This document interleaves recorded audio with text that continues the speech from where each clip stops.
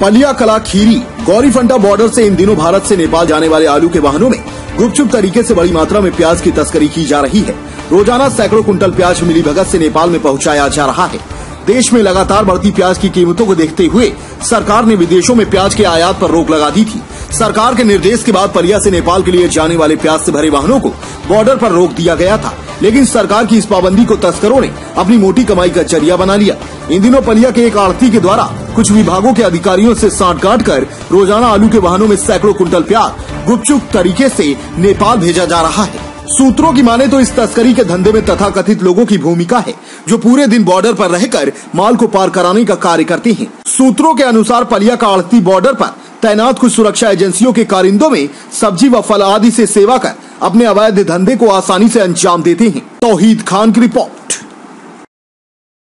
नमस्कार, मैं हूँ अंशु शर्मा और हमें उम्मीद है कि आपको ये वीडियो ज़रूर पसंद आया होगा।